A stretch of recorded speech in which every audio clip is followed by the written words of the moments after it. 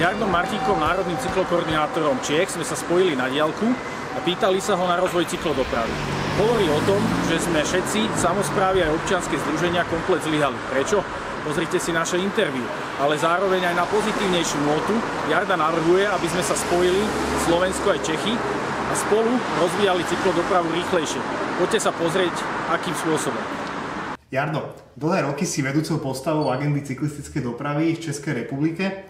A povedz, povedz niečo o sebe, povedz, za akými iniciatívami stojíš, čím sa, vieš, čím sa vieš pochváliť v rámci svojej práce, ktorú vykonávaš dlhé roky. Ja osobne ťa registrujem približne od roku 2011, kedy si na jednej konferencii povedal, že keď máme na Slovensku 14 000 km cyklotras, tak sme na tom podobne ako Holandsko a teda nemusíme nič riešiť. Povedz, povedz niečo o sebe. Je to asi ta nejtěžší otázka, kterou z mě mohl dát na začátek.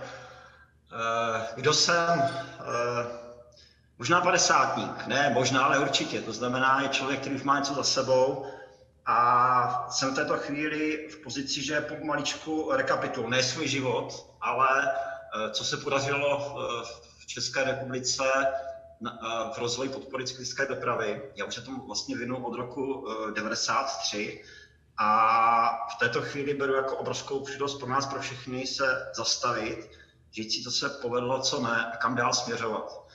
A možná vzpomínám si na svou jednu z prvních eh, cyklokonferencí v roce 2003, eh, kdy jsem použil výrok eh, krále Šalomouna.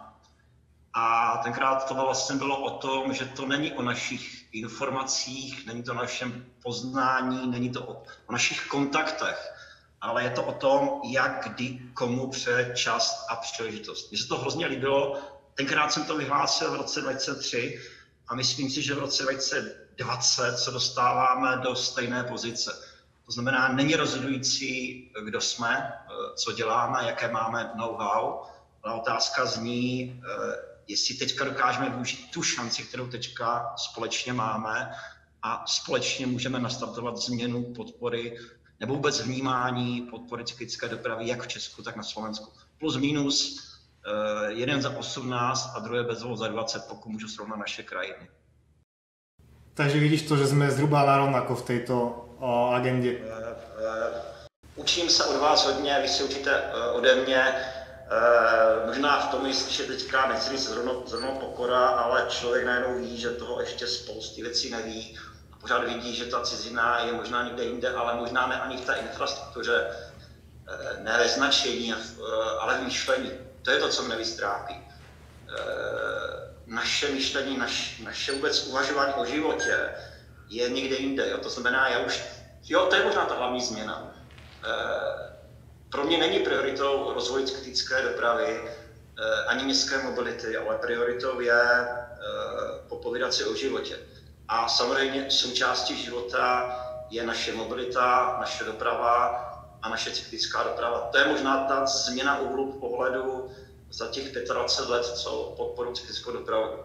Jo, nebo když jdu ještě dál, eh, co můžu dát mým dětem. A nebo ještě když jdu dál, za chvilku mít děti, to znamená, eh, dokážu opravdu našim dětem nabídnout eh, atraktivní prostředí, ve kterém budou rádi žít. Jo, před 25 lety by to asi byla takový výkřik do tmy, ale proto jsem začal tím, že jsem padesátník a už najednou má člověk jiné hodnoty, jiné poskládané priority a toto se snažím také dodat do práce. Je to o životních prioritách, hodnotách a všechno ostatně potom dostupné. Ďakujem. Jardo, je to 27 rokov, keď to tak sčítam, čo sa venuješ cyklistické doprave, ako si spomínal. Považuješ nejaký z tých momentov, ktorý si počas tých 27 rokov zažil za ten zlomový? ktorý nejakým spôsobom ovplyvnil to, aj o čom teraz hovoríš, o tej zmene myslenia, akým spôsobom ľudia pozerajú na túto našu agendu? E, všechno mě ovlivnilo, každý vlastně den, každý krůček těch 27 let mě ovlivňoval, de facto i vy jste mě ovlivňovali. Neskutečně rád jsem na Slovensko. E, vnímal jsem, co děláte, jo? to znamená, nebo takhle, já potřebuji ke svému životu e, kamarády, ale kamarády není jenom kamarád v rámci fotbalu nebo když jdeš na pivo, ale kamarádi jsou i v, v kontextu mé práce. To znamená, pojďme společně eh, měnit naše města, to, co jsem říkal před chvíličkou, A pro mě jste vy lidé, kteří mě obohacují. To znamená, nemůžu říct, co tam byl který moment. Jo? Absolutně to nejsem schopen takhle jako říct. Prostě je to, znáš to, možná to české pořekadlo tisíckrát nic, u moře i vola, takže teďka nechci, nechci říct se vol, ale je to, je to prostě o maličkostech, který tě formulují, který tě mění a každý den je obrovskou jako kdyby šance příležitostí eh, k malé změně, k jinému, k určitému posunu ve vývoji, ve vývoji života. Takže já to prostě beru status quo, to je život jako takový, který se zrovna v našem případě projevuje v podpoře kritické dopravy. Vyvíjíme se prostě, teďka. Jardo, dôverujú české mesta cyklodoprave jako řešení mobility? Zase, já bych fakt jako, ty mě znáš, nerad používám slovo města. Ve městech lidí konkrétní živí, konkrétní politici a je to jak na houpačce. To znamená, jedno město má v určité době super politika, který to vnímá a udělá. A proto všechno, a to město neskutečně posune. Pak na neštěstí přijdou uh, volby a všechno, co ten člověk vybudoval, najednou padá. Jo, to znamená, stoprocentně vnímám uh, posun vnímání politiku podpory cyklické dopravy, jí rozhodně víc než před 27 lety, ale pořád ještě jsme na té houpačce. Jo? To znamená, pořád je to o té náhodě, jak kterému městu zrovna přijde ten čas a příležitost uh, podporovat tu cyklickou dopravu. A naším společným úkolem je teďka uh, opravdu si hýčkat ty politiky, kteří to myslí s podporou cyklické dopravy vážně pocit, že hovoríš eh, o situácii, ktorá je veľmi podobná aj na Slovensku.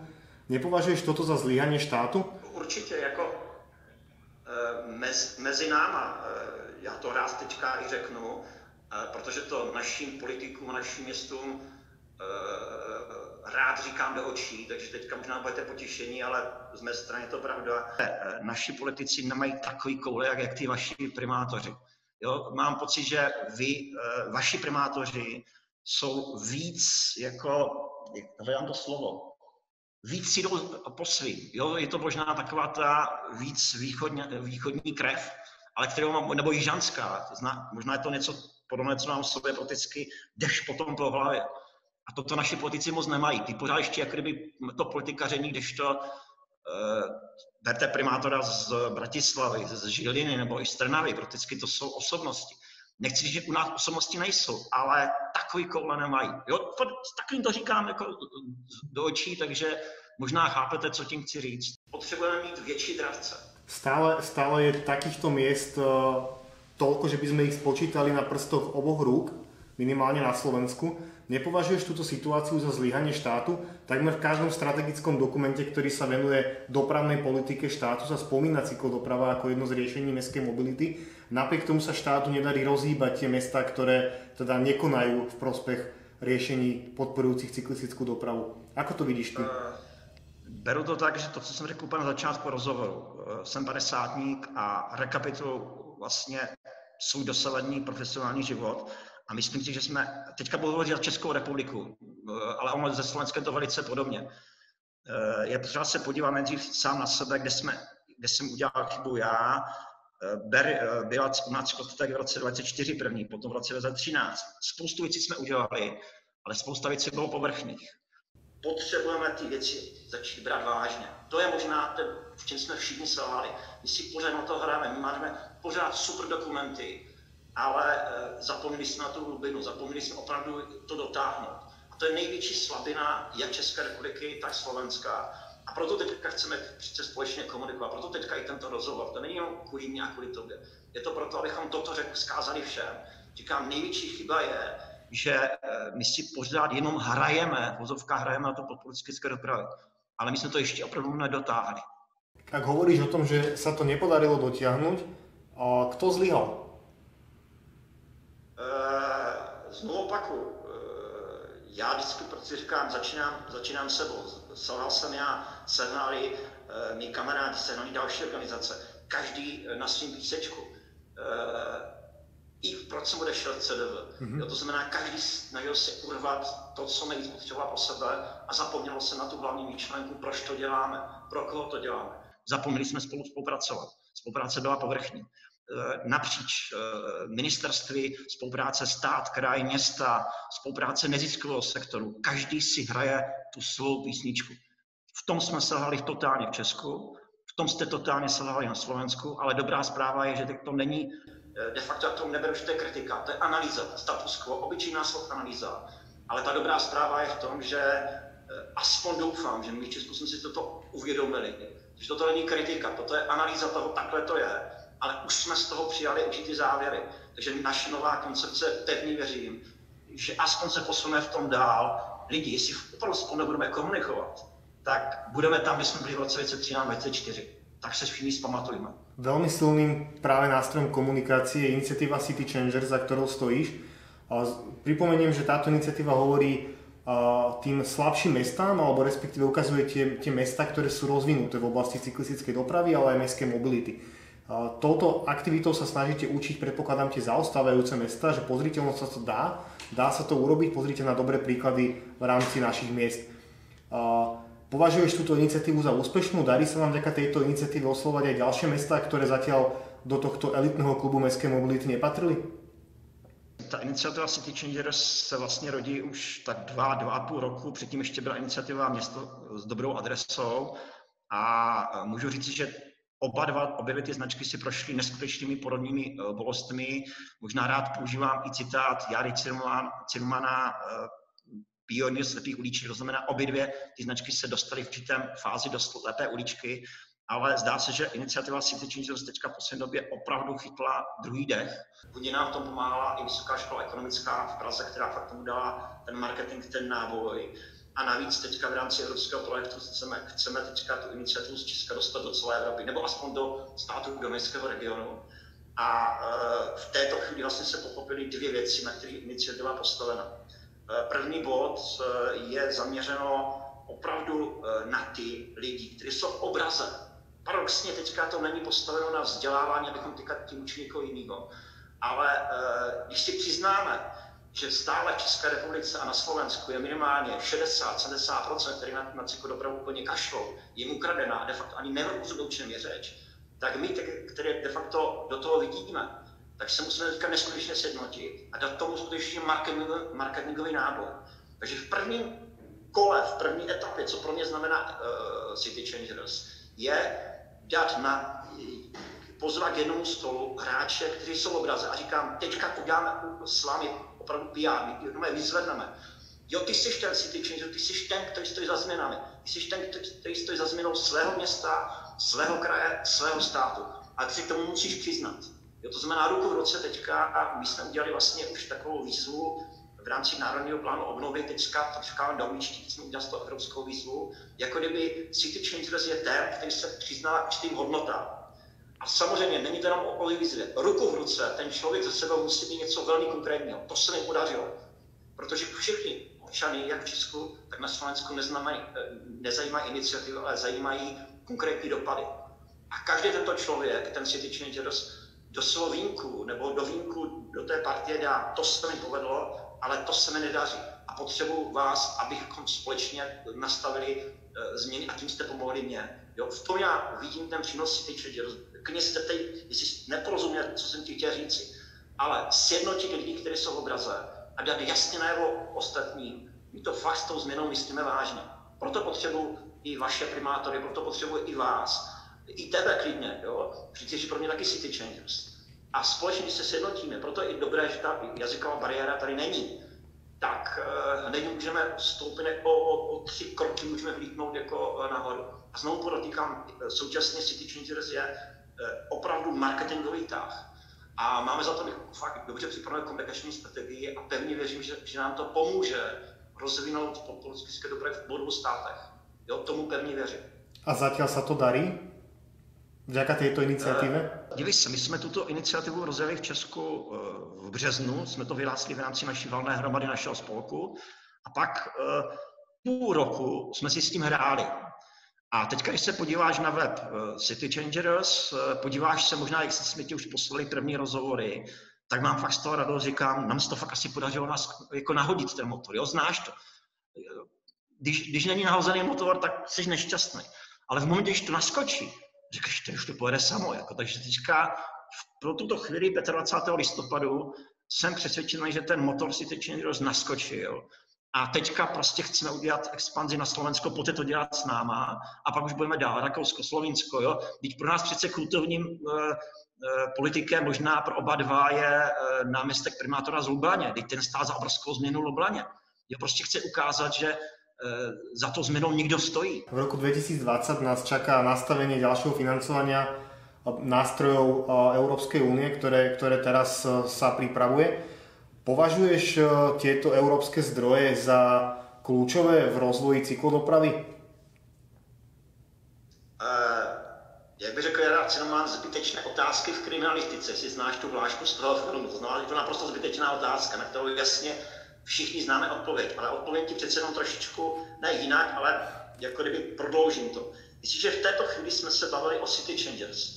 Eh, pochop to, toto není hra, to není iniciativa. A my jsme před dvěma měsíci zjistili, že de facto vláda na nás udělala maličký odraz, nebo určitý lidi z vlády, kdy eh, v červenci se něco na vládě dohodlo, že budou podporovaný cyklotesky a pak ti šeli hodili. Takže jsme se pěkně naštvali. A to nás de facto sjednotilo. Říkám lidi, jestli teďka nebudeme táhnout za pro vás, tak nám ty peníze prostě vyfouknou. Takže poprvé budeme se snažit vrátit do Reactu, do speciálníka fond na, eh, v rámci covidu, ale jsme zjistili, že Národní plán obnovy v České je úplně na vodě. Že tam není ani, ne, nejenom o cyklické dopravě, ale ani ne o udržitelné mobilitě. Že tam prakticky ty prachy nejsou. Takže tam začneme tlačit. Eh, eh, vy chcete mít nějakou koncepci kreativní mobility, když nemáte finanční rámec? No na to zapomeňte. A to, že se teďka připravuje IROP a víme, že tam jsou výborně nastaveny technické eh, podmínky na cyklodopravu, to taky víme.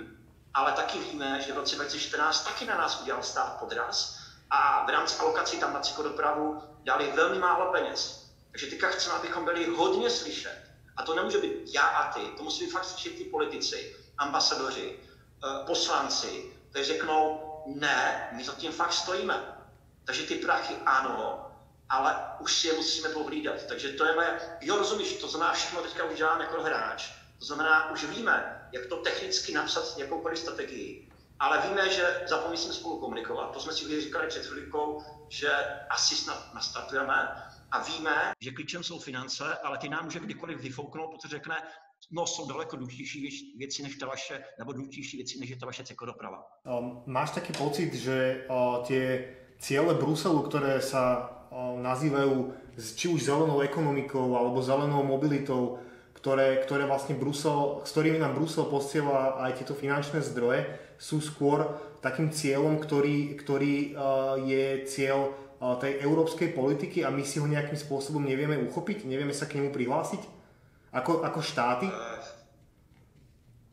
včera, včera jsem ti poslal vlastně první nástřel doporučení, jak připravovat cyklostrategii v jednotlivých státech, což je vlastně doporučení i pro vlastně Slovensko, Rumunsko, Maďarsko a podobně. A já tam vlastně začínal eh, kapitol všeobecného kontextu. Začíná tady to kapitol evropských dokumentů. A snažím se vysvětlit, nebo aspoň decentně, myslíte si, že tady toto je buzerování Evropy jako nás? Což jsou, to, jsou to fakt perfektní myšlenky. Takže e, základ doporučení zní, zkusme udělat všechno pro to, abychom dobře naslouchali Evropským radám. Tečka. Ale mimo jiné, to má potom dopady na ty finance. Ako si dokážeme vážiť aj těch finančních prostředků. Na Slovensku sa v poslednom programovom období, ktoré aktuálne dobieha a bude funkčné do roku 2023, podarilo do cyklodopravy investovať približne 120 až 130 miliónov eur. Napriek tejto zásadne vysokej sume, alebo pomerne vysokej sume, nemáme pocit, že by sa výrazne zvýšil podiel cyklistov alebo počet cyklistov v mestách. Čo je podľa teba tým dôvodom? Myslím, že to je podobné aj u vás. Boli tieto peniaze, napríklad máš pocit u vás využité efektívne na rozvoj cyklistickej dopravy?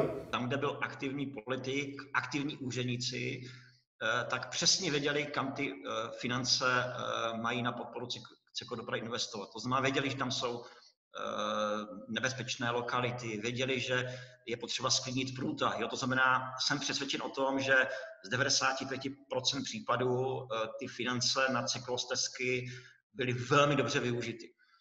Jo, ale mimo jiné, máme v této chvíli asi tak 4000 km cyklostezek, ale to, co bych chtěl podotknout, to, co jsme si udělali tu analýzu, v této chvíli je připraveno, uh, tuším plus minus, asi 400 projektů v rámci celé České republiky se stavebním nebo se stavebním povolením území rozhodnutím v celkové výši zhruba 4,2 miliardy korun. Takže chceme ukázat, že obrovská kus práce je teprve ještě před námi. Proto potřebujeme ty peníze a proto potřebujeme ukázat všem, že jsme na to připraveni. Mimo jiné, největší pointa celého mého příběhu je v tom, bavíme se o tom, že 27 let uh, dělám cyklodopravu a nedokázal, nedokázal jsem si prosadit svou cyklotesku Olomouc Chomoutov. Sváně říkám svou cyklotesku, že já bydlím v Chomoutově, ale já nemůžu jezdit bezpečně do Olomouce, to jsou 3 km vzdálený. Moje děti, moje manželka, obyvatelé Chomoutova a fakt nás to štve, protože za těch 27 let neskutečně zrostla doprava. Takže teď je to fakt o život. To znamená, možná před těmi 27 lety to ještě byla sranda. Teď tak sranda skončila, de facto použiju výrok game is over, hra skončila. Proto jsem tak naštvaný i e, někdy, protože jakoby úplně zapomněli na to, že, že teď už opravdu jsou sáce naše životy. Mám taký pocit podľa toho, čo hovoríš, ako si spomínal, máte 400 pripravených projektov, ktoré sú vo fázi stavebného povolenia. Máš taký pocit, že práve to, ten, tam tie možnosti financovania zvyšujú aj záujem samozpráv o cyklistickú dopravu? To znamená, že je tam nejaká väčšia kapacita, ako dokážu tie samozprávy spracovať e, projekty, majú, majú ľudí, ktorí sa venujú cyklistickej doprave, pretože vedia, že sú na to externé zdroje? Uh, ale opět tady vlastně platí to, co jsem, jako, teď se pak musím opakovat, jo, ale jako jinou odpověď nemám. Zase je to o tom, jak kterému městu přeje čas a příležitost. To znamená, jestli je tam politik, který tlačí na pilu a řekne, já chci mít do roka do dne tady tři stavební povolení, tak prostě budou. Ale ruku v ruce ještě to, co jsme zjistili, musí tam být i úředníci třeba na odbor investic, kteří ti řeknou, sorry, já na to nemám čas, protože mám tisíc jiných věcí. Jako to se mám zbláznit, mám to udělat. Teďka s vámi říkám to, co se mi stalo včera v e-mailu. Jedna úřednice řekla, no na to zapomeň, příští rok nejdřív. To znamená, ta odpověď je na lenosti, liknavosti lidí. Jinak by už spoustu věcí dál bylo. Na druhé straně Eh, tam, kde to je, je to eh, vizitka aktivity toho politika, aktivita těch úředníků. Obklukou sa vrátim k úvodu. Prečo je tých primátorov tak málo? Uh, ale opět ti říkám, naštěstí už je více. Před 27 lety bylo jak šafránu, teď je jich víc a možná je to proto, že vlastně ty chceš spíš odpovědět, protože tak málo. Já už to vidím z jiného úhlu pohledu, jich, jich víc než před těmi 27 lety. Já jsem rád za každého toho primátora, Eh, který, který je v obraze, mimo jiné u vás, ale víc než u nás. Bacha na to. A je to možná spojeno s tím, eh, že oni už eh, přece jenom tak nebyli zasaženi tím komunismem. Jezdí víc po Evropě a jim to celé došlo. A možná je to spojeno s jejím životním stylem, prakticky rádi sportují, rádi jsou aktivní a mají k tomu blíž. To znamená, je to spojeno s tím životním stylem. Když nás je málo, potřebujeme se rychle spojit, to jak v těch pohádkách, pokud dobře budeme bojovat společně, porazíme přesilu. Viděl jsi film Gladiátor, ne? To je ukázkový film z historie, že jo? Pokud si chceš hrát, jo? Ale to je stejný princip. Naučit rychle pravidla váčení a je to. Posledná otázka. Máš pocit, že primátori, ktorí sa venujú aktívne cyklistickej doprave alebo udržateľnej mobilite, sú aj úspešní v komunálnych voľbách? pravděpodobně ano. E, aspoň já to tak vidím, jako by teďka budu hovořit za e, menší města, tam je to fakt vidět, že některý, kterým vlastně jdou s takovou tou důvěrou a srdcem jako na dlaní, tak, tak vítězí, ale mimo jiné, říkám, jako já teďka radši občas hovořím o Slovensku, ale pro mě je kulturním primátorem váš primátor z Bratislavy, který vlastně v rámci svého volebního programu prásko na stůl knihu Vize Bratislava 2030, jak to bylo, a teď i pro mě byla kulturně jako napsaná. Jo? To znamená, e, vždycky ten primátor podle mě, a no takhle ne, to není podle mě, takhle to je, že teďka vlastně, když připravujeme tu novou koncepci a k tomu i novou metodiku plánu městské mobility, tak je tam jedna zásadní poučka. E, pokud tam nebudeš mít člověka, primátora, který fakt má důvěru, tak nic nebude fungovat. Mimo jiné, toto jsem se naučil v Lipsku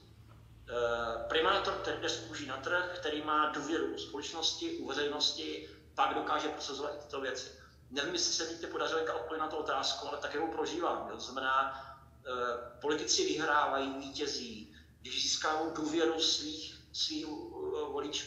A to je teďka hrozně důležitý uh, bod k tomu, že marná slava občas děláme nepopulární řešení. Bereme parkovací místa. To znamená, je to obrovská role toho politika, aby to dokázal vykomunikovat a dokázal přesvědčit lidi, my vám nebereme, my vám dáváme. Všichni známe příběh Maria, Maria Štráse z Vídně. Ale slyšel jsi o tom, že tři roky se jim to nedařilo jo, že prakticky prohrávali, občané s tím nesouhlasili.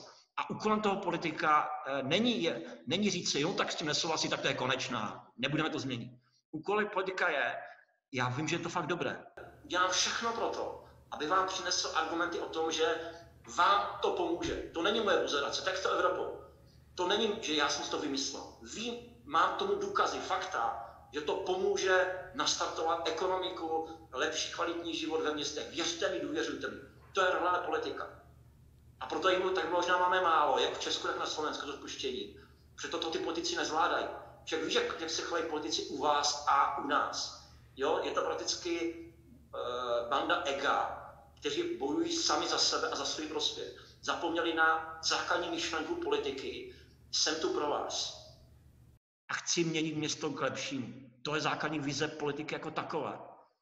To, že kam se to dostala Česká republika a Slovensko, Stačí si přijdeš do Wikipedie a naštěš, co znamená slovo politika, tak budeš neskutečně příjemně překvapený, jak politika má pozitivní nádech. Ale my jsme úplně nebe a dudy od tady té vize, co je napsáno ve Wikipedii. Tak. Jardo, je ešte niečo, čo by si chcel doplniť a povedať, čo možno nezaznelo, čo podľa teba súvisí alebo nejakým spôsobom dokáže nakopnúť, motivovať slovenských primátorov a starostov, primátorky a starostky k tomu, aby podporovali cyklistickú dopravu? Proč by to mali robiť? Zopakuju to, co jsem řekl na začátku. Zopakuju to, co jsem řekl eh, na konferenci v roce 2003. Znovu použiju eh, výrok eh, krále Šalomouna a říkám, dívejte se, fakt to není o těch informacích, není to o to know není to o čemkoliv jiný, ani o těch penězích. Je to o nás, o lidech. Pevně věřím, že teďka nám čas přeje Eh, pojďme to dělat společně. Já, Čech, eh, nabízím vám, Slovákům, opětovou spolupráci. Pojďme vytvořit koalici, pojďme vytvořit platformu, federaci, jakkoliv to nazveme. Zbořme ty hranice mezi námi. A aspoň na tomto poli pojďme tam rozeném pro vás, protože ty naše dva státy se neskutečně obohacují. Neskutečně. A to byla možná ta velká chyba, co se způsobilo rozdělení. Ztratili jsme obohacení toho druhého tak aspoň na tomto poli, na poli městské mobility a cyklické dopravy, pojďme se vzájemně obohacovat. Oba dva státy na tom těžce vydělají. Proto věřím, dneska nám přijde čas a příležitost ke změnám. Proto hovořím tak optimisticky, byť jsem někdy třeba v rozhovoru hovořil kriticky, ale beru to pouze jako analýzu. Všechno jsem spálil, zbořil, od dneška začínáme e, na novo. Proto se vracím ke konferenci v roce 2023 a znovu vytahuji výrok krále Šalomouna. Teďka nám přeje čas a příležitost. Jardo, ďakujem ti za tvoje slova.